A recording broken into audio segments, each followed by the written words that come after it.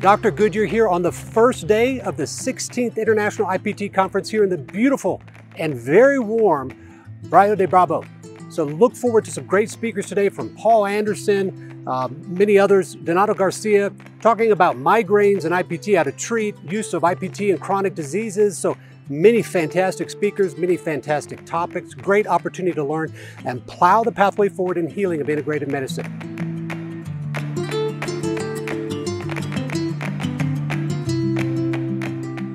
When you look at the phrase IPT, insulin potentiated therapy, it's known by many names, and it's important to understand this. It's known by IPT or insulin potentiated low dose therapy or IPTLD, low dose chemotherapy, metronomic chemotherapy, low dose metronomic chemotherapy, low dose metronomic chemotherapy with insulin potentiation, which is my favorite.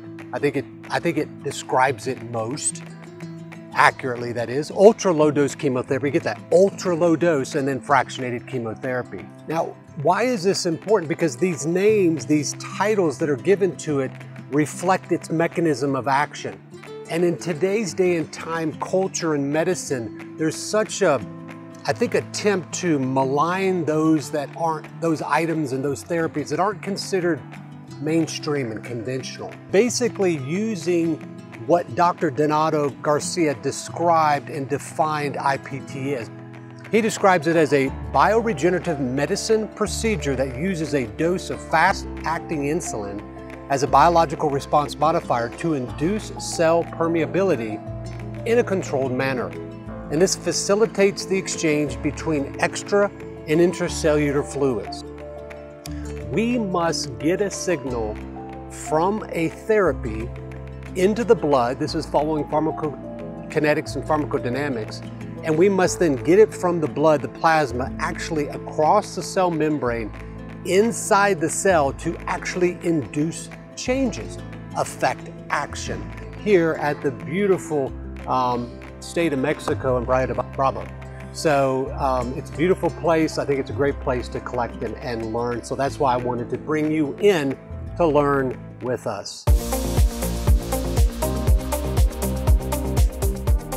Dr. Donato Perez Garcia really put together a, power punch of speakers today.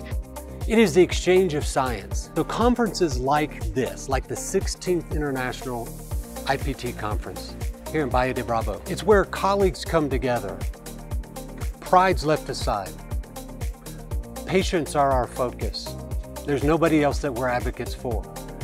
Where we share our experiences, where we discuss the science behind the mechanisms of our experiences in treating patients, not for the benefit of being an advocate for a government regulatory body or health insurance body or a hospital, but for the patient, because we always have something to learn, because cancer is always evolving, always progressing, and we as physicians in the natural, holistic, and integrative field need to continue to work to build the science, know the science, integrate the science to help our patients maximize their healing.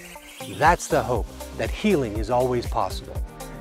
And bringing these international physicians from Malaysia, from Canada, from Kazakhstan, from Mexico, it allows us to recognize that we all bring a different viewpoint, a different thought process to the table and that different perspective, that different thinking actually provides better perspective on the process of cancer treatment and healing from cancer.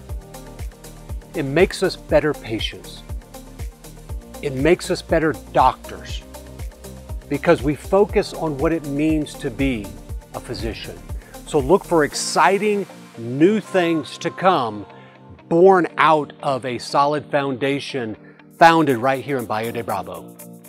2023 February, I look forward to seeing what 2024 and beyond will bring with the International IPT Conference.